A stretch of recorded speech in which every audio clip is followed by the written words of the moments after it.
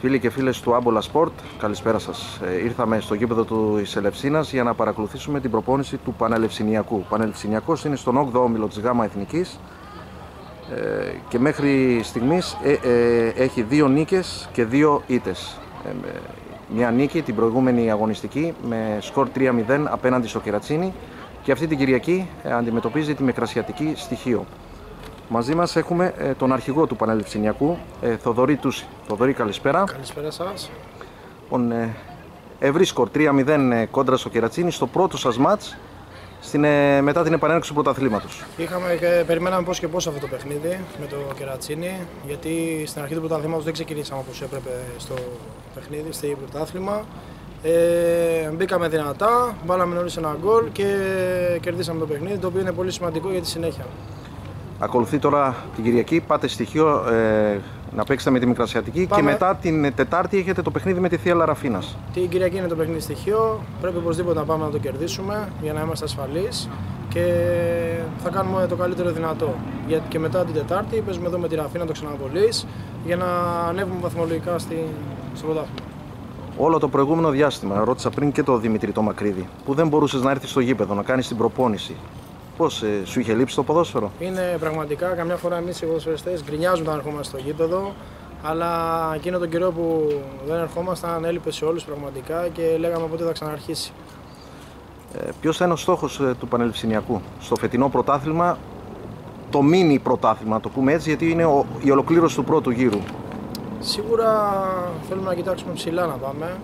Για- Με τους παίχτες και το υλικό που έχουμε, πιστεύω ότι κοιτάμε ψηλά. Και η διοίκηση έκανε, ενίσχυσε την ομάδα. Ναι, ναι, η διοίκηση σαφώ από την αρχή είναι εδώ δίπλα μας, μας παρέχει τα πάντα και βοηθάει με τον καλύτερο τρόπο και με τις μεταγραφές και με όλα για να η ομάδα να ανέβει ψηλά, πιο ψηλά.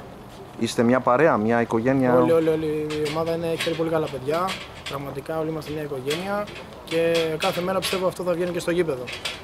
Και η συνεργασία σου και με τον coach, Θεόφιλο Καλίβα. Με τον coach έχω ξανασυνεργαστεί ε, το, δέο- το 2017 στο Μαντραϊκό. Ανεβήκαμε κατηγορία. Έχουμε άψογη συνεργασία.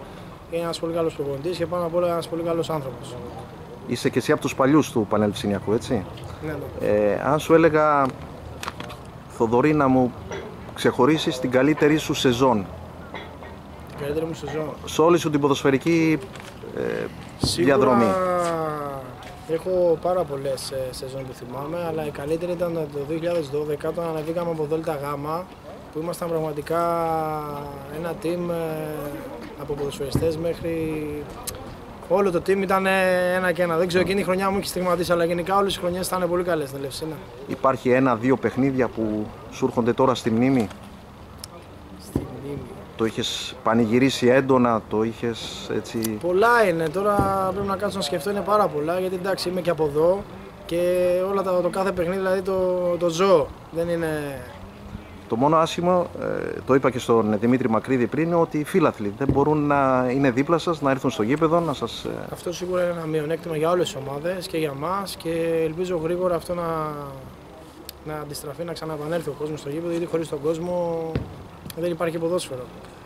Ωραία, βλέποντας ε, τα αποτελέσματα μέχρι την προηγούμενη αγωνιστική στον 8ο όμιλο, ποιες ομάδες ε, πιστεύεις ότι έχουν ξεχωρίσει; Επειδή δεν έχουμε παίξει και με ολες αλλά σίγουρα μου έκανε εντύπωση πολύ η Σαλαμίνα μου έκανε εντύπωση. Είναι αίτητη μέχρι στιγμής. Α, Γιατί ήταν, έδειχνε ομάδα στο γήπεδο. Μπορεί να μην ήταν ε, με το ποδόσφαιρο, να έπαιξε ποδόσφαιρο καταπληκτικό, αλλά ήταν ομάδα.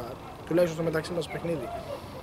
Τώρα δεν, έχω, δεν έχουμε παίξει με όλες τις ομάδες για να έχω μια άποψη για όλες. Και ο Ιωλικός σίγουρα είναι μια σοβαρή ομάδα. Ωραία. Τι να περιμένουμε από τον ε, αρχηγό, τον Θοδωρή Τούση, στη συνέχεια του πρωταθλήματος και από την ομάδα; Ότι θα τα δώσω όλα για να έρθουν οι στόχοι στην ομάδα και αυτό που κάνω πάντα. Αυτό. Και τι μπορείς να υποσχεθείς στου φιλά... στους φιλάθλους του Ότι θα Πανεπιστημιακού. κάνουμε τα πάντα για η ομάδα να πάει πιο εκεί που πρέπει. Τουλάχιστον να προσπαθήσουμε. Ωραία. Σε ευχαριστώ πολύ. Εγώ σας Πάντα ευχαριστώ επιτυχίες. πολύ. Να είστε καλά.